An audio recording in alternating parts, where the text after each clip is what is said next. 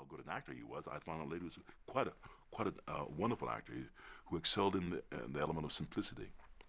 But um, because he was one black and then blacklisted because of his his involvement with, with labor unions and so on during those those years, um, he, he he just didn't get work.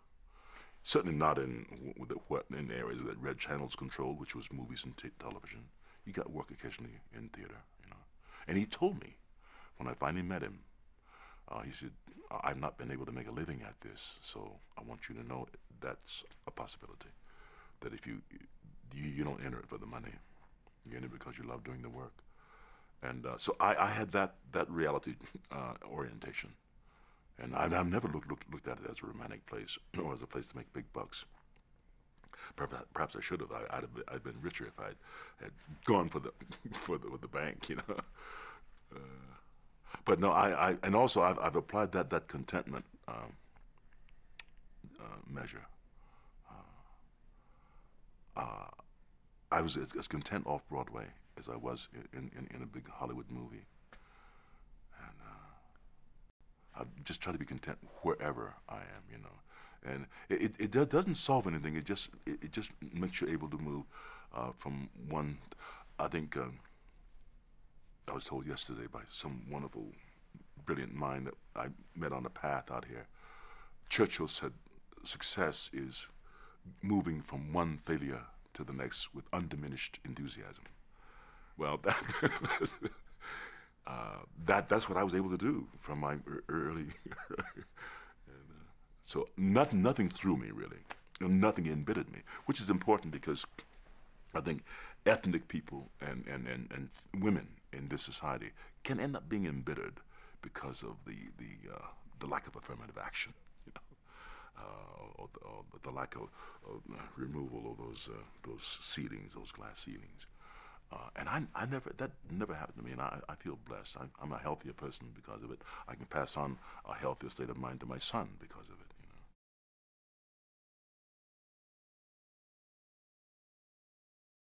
When I was finally allowed to see him, I mean legally, I, I, I was, I was, banned. I, I, was not just until I could decide for myself. Uh, there was such animosity between uh, th those two families, and uh, uh, it, it's still unresolved. It, it, will never be resolved with my father. I, had, had, a meeting with him just a few days ago, and it's, it's, it's a mess, you know. But I accept that. He doesn't seem to accept it, you know. He wants to still sort it out. He wants to place our, he wants to place him and me and my son into some sort of galaxy, and I, I, that that's that's a sign of romanticism, and I I, I don't care for it, you know. Uh, family relationships are uh, come from real uh, real bonding, not not from something imagined or or a, a presumption about genetic you know, inheritance. You know. And, uh, it has to be real, and I and I think the, a lot of the problems we have, a lot of the problems we have as a society is because we don't acknowledge that family is important and it has to be people who are present, you know, and uh, and mothers and fathers both are not present enough with, with children. I'm I'm not present enough with with, with my son. You know, I'm I'm here and he's there. You know, often that's the case, and uh, and that's a problem. You know, and uh, you don't build a bond without being present.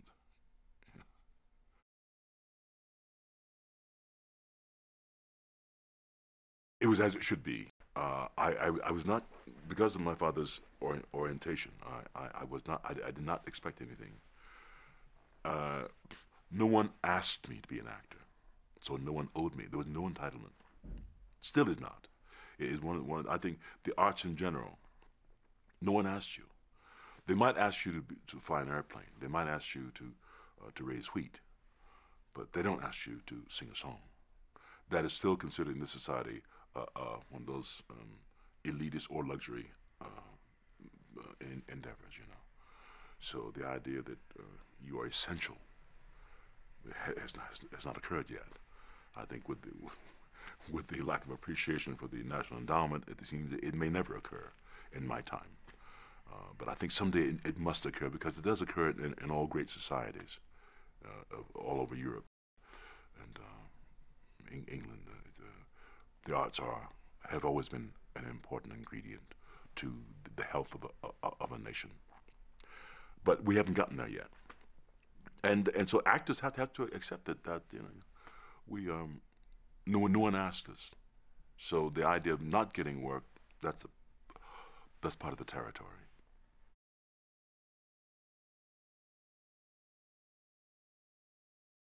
I happened to land in a time in the in the middle '60s that, without knowing it and without being told by the theater, you know, the, the history of theater, which which we now see from a historical point of view, was an explosive time. Uh, I got out of the army. Uh, in, in, my in my world, I came to New York, for instance, and uh, uh the civil rights movement was just beginning, and uh, that created a certain energy, a certain rumble, certain impetus for, for black black actors. and the, and, the, and the, the, the, game was not to get caught up in it, not not to get swept away by it, away by it, but to keep on, on, on track of what you wanted to do. Um, uh, you you weren't going to the theater to, to change the world. You, uh, but you had you had you had a, chance to affect the world, the thinking and the feelings of the world. Athol Fugard, one of the early playwrights that I, that I encountered in those days, uh, always said he doesn't assume, and he, he was talking about South Africa then, apartheid South Africa.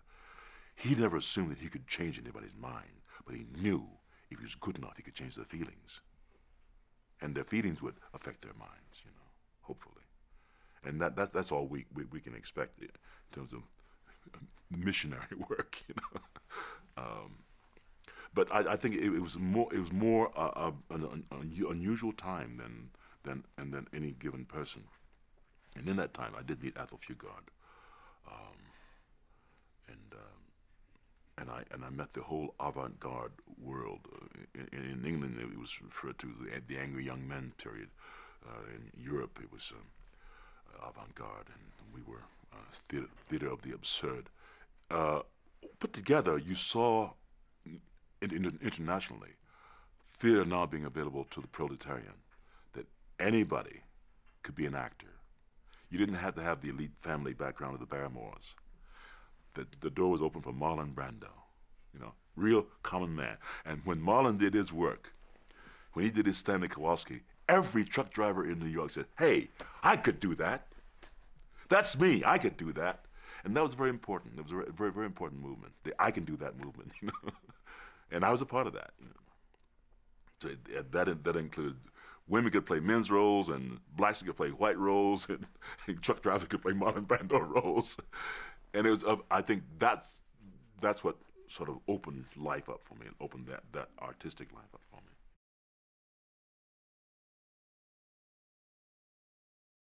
I knew actors who, at, at, at that time, were better than I was. Uh, one in particular who was so frightened by his own talent, he would only go to auditions drunk self-destruction. And uh, I think uh, on the other end, there are actors who were not as good as I was, perhaps who, who, could have hung in too, but began to blame everything on race. You know, I mean, if they're, if they're black or whatever, uh, minority race. Uh, and I did none of these things. I, I, I sort of I say straight, you know, and square, very, very square, but always uh able to walk straight line, you know, toward toward my my my my goal, toward it. Not the goal was not really important. The goal wasn't to be a millionaire or to be a Hollywood star. That was not the goal. The goal was something about. Uh, it was the goal was to find to find the goal, but I knew where it was. It had to do with getting on that stage and finding better and better uh, plays, and hopefully movie scripts to do. You know, to be a part of good storytelling. That that the goal was about that. You know. Um, and none, none, nothing threw me off, uh, neither poverty nor nor uh, uh, discouragement. Uh, um, nothing threw me off. It was, I really I didn't know Churchill's uh, theory then, but I, I lived it.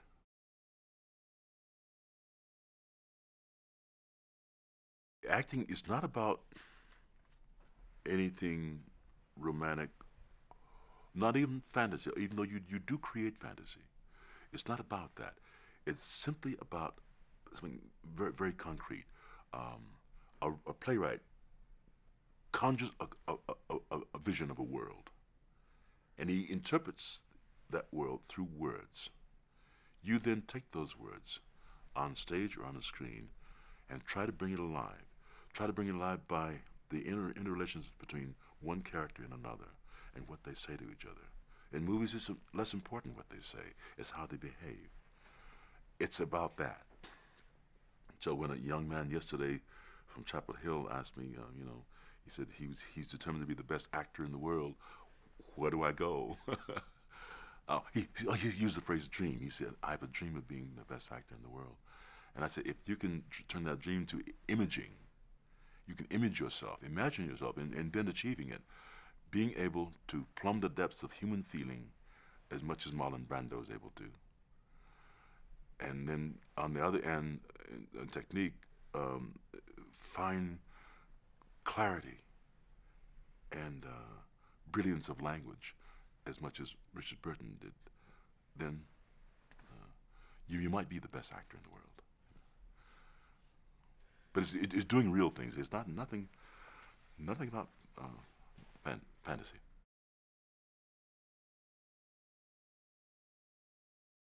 Well, oh, setbacks, yeah.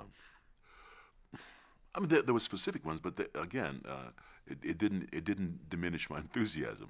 Uh, being told one day that I had a job, my, my, first job in a TV series. The next day to walk, go to a party, and find out, yeah, another act, young actor said he has the job. You know, well, somebody had lied to me. Um, the producer had, you know. Uh, but that, that that that was a game, you know. And I learned that game could be even more vicious if, if you let it, you know, if, you, if you feel it that way, you know. Uh, deception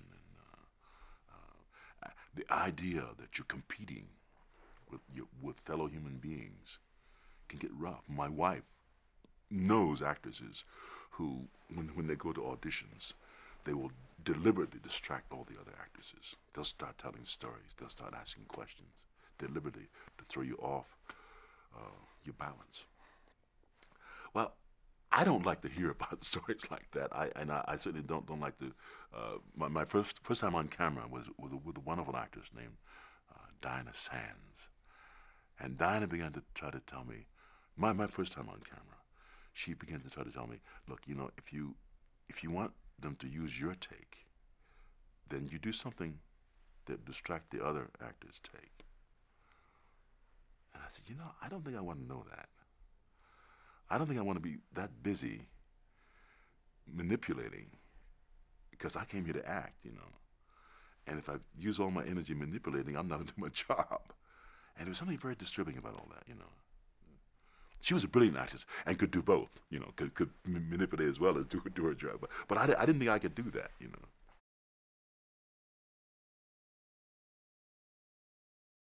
Oh, oh no, you don't, you don't have self-doubt. You don't have fear of failure. If you do, you got to take care of it, you know. Uh, but if, if you if your goal is if your if your if the way you you approach your goal is is is is right for you, then you won't have self doubt. You know, it, literally, uh, undiminished enthusiasm always stays with you. If if you you're the only person who can tell what, whether you have talent or not. And there's a, a certain point where you got to be really honest with yourself and say, yeah, I do, and I'm going on, or, no, I don't. And uh, your parents can't do it for you, critics can't do it for you. Once you determine that, then there should be no room for doubt. You know? There should be, there is room that, well, maybe this isn't um, the right role for me. And that's always going on, you know. You're told no every day, you're not right for this role. And they might say, because you're too tall. They usually don't know why you're not right for it. It just, you didn't, you didn't ring a bell for them, that's all. And that's okay. You got to accept the fact that you don't ring a bell for everybody. There's only one actor I know who does Morgan Freeman. He he can ring a bell on the drama side, on the comedy side. He, he you know, it's rare for this this young actor to miss uh, in terms of the way he achieves his work, and it's also rare for him to, to miss in his character. Uh, whatever he does, oh, seems to work in his character. You know, well, that's very rare, and most of us don't don't have that going for us. You know, uh, and we will we will fail to ring somebody's bell, and that's okay. Uh, when I first came into the theater, um, I followed Sidney Poitier's generation, which was not, not far ahead of mine, a couple of years. But he had established the height, and for the rest of us, we were there to establish the breadth of what young black actors